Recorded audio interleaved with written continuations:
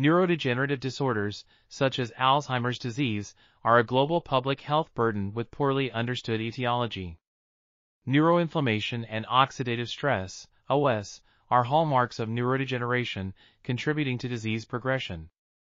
Protein aggregation and neuronal damage result in the activation of disease-associated microglia, DAM, via damage-associated molecular patterns, DAMPs. DAM facilitate persistent inflammation and reactive oxygen species, ROS, generation. However, the molecular mechanisms linking DAM activation and OS have not been well defined, thus targeting these cells for clinical benefit has not been possible.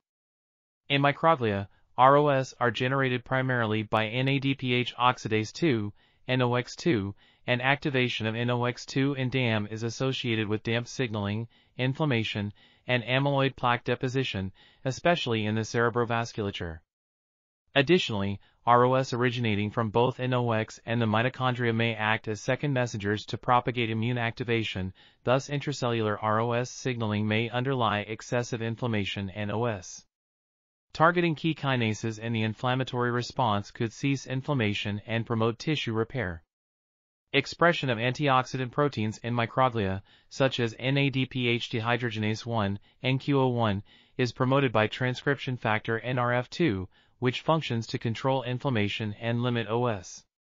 Lipid droplet accumulating microglia, LDAM, may also represent a double-edged sword in neurodegenerative disease by sequestering peroxidized lipids in non-pathological aging but becoming dysregulated and pro-inflammatory in disease. We suggest that future studies should focus on targeted manipulation of NOX in the microglia to understand the molecular mechanisms driving inflammatory-related NOX activation.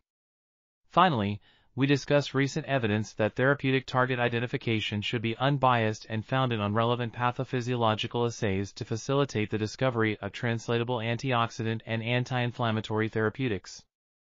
This article was authored by Dominic S. A. Simpson and Peter L. Oliver. We're RTCL.TV, links in the description below.